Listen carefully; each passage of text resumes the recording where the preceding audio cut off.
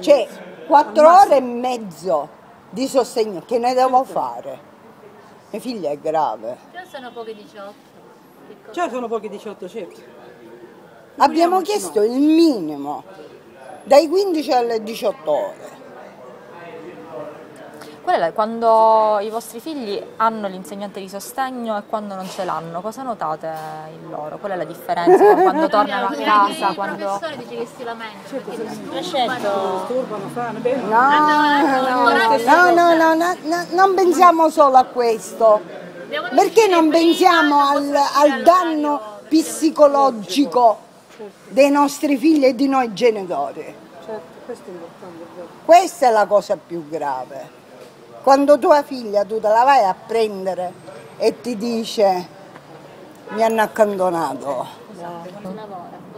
Perciò stiamo parlando di ora, del 2000, sentenza del 2012, del TAR di Catania. Perciò figurati. L'ufficio scolastico regionale della Sicilia, della provincia.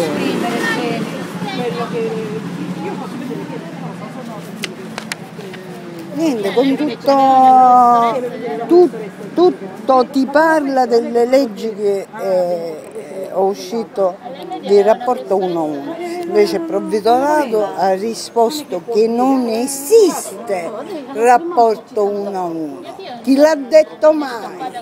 Stanno aiutando perché hanno, hanno detto che hanno fatto dei tagli, però non è giusto che quelli più deboli, la fascia più debole ne, ne paghi le conseguenze? ne paghi le conseguenze, non è giusto. E c'è una legge, ehm, della, la 104 sbarra 92,3 che ti dice il rapporto uno a uno. Esiste questa legge, perché non la devono rispettare, non la devono attuare alla scuola, specialmente per i nostri figli gravi.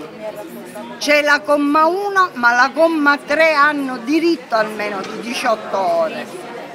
E non però? a chi 4 ore e mezza, a chi 9 ore. Non esiste questo discorso.